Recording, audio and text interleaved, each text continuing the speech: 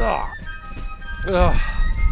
On March 28, 1771, Charles Bourgatte was placed in the pillory for an entire day as punishment for perjury in the Boston Massacre trial. Now, he had testified that a tall man had compelled him to fire a gun out of the customs house window. Uh, the story didn't hold up, and so Charles was held up. Uh, being placed in the pillory could be an extremely harsh punishment, as passerby were encouraged to throw rotten fruit at you or even slap.